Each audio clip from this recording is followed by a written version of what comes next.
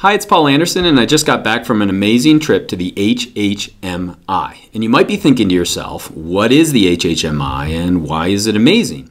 The HHMI, or the Howard Hughes Medical Institute, was founded in 1953 by businessman and aviator Howard Hughes, and it was kind of a tax dodge. He was able to take his personal fortune of Hughes aircraft and put it in this nonprofit medical institute. And they didn't really do a lot of research right away.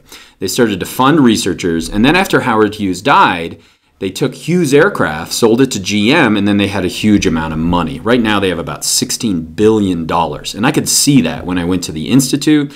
I was inside for about five days. This is a picture I snapped when I just ran outside for a second. It's an amazing institute, the fanciest coffee maker that I've ever seen. But that's not where they're putting all of their money. They're putting all of their money into scientists like Randy Schekman.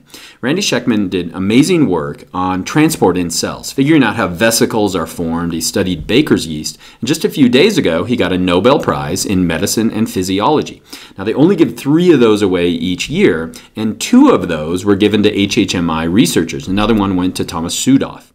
Now, Randy Schekman made news just last week when he started talking about journaling. He's created this eLife journal, and he's not going to publish in Nature, Science, or Cell anymore. And I'll put a link to that Guardian article right down below. But you might think, wow, that's wild. Two of them in one year.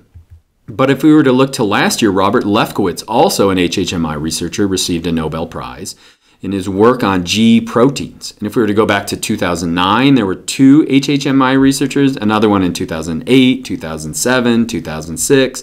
And so they're really on kind of a roll. And you might think, why is that? Well, I think it goes back to their philosophy. They like to fund people, not projects. And what that means is they're giving a huge amount of money to amazing scientists to do amazing science. And if you know any scientists, they lots of times will complain about the amount of uh, grant writing they have to do. They have to get funding. They have to do these reports. And if you're an HHMI researcher, you don't have to do that. You're just given money to do research, pure research on whatever you want. Um, and again, it's had some really great results lately. Now, I'm not a scientist, and so I was brought to the HHMI for a different reason. I was brought to attend the HHMI holiday lectures. And so we listened to amazing scientists. Christopher Walsh talk about genomics and how it's revolutionizing what we know about brain development. We listened to Charles Sawyer talk about how genomics is revolutionizing what we know about cancer.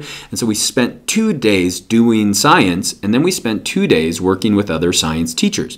You can see here that we're all smiling, and the reason why is that we're meeting with James Watson, Watson of Watson and Crick. Watson of discovered the structure of the double helix. And so we got to work with him, other scientists, other amazing folks, and so after we listened to the research, then we kind of got to work. We spent two days figuring out how we could make this science more available to students and teachers around the world. And they've been doing this for years. This was just my first time. And they've created this website called BioInteractive. You could just type in biointeractive.org. You could watch the um, lectures that I just attended. You could just click over here and watch those. Or you could type in a topic here, any science topic that you're interested in. And you're going to find amazing lectures, amazing animations, lesson plans. There's so much stuff there. And so I would encourage you to go visit it. Why do I like the HHMI? Because they fund researchers with real money doing amazing science. And when it comes to education, they create all of this content and then they just give it away for free. So I hope you now know what the HHMI is, and I hope that was helpful.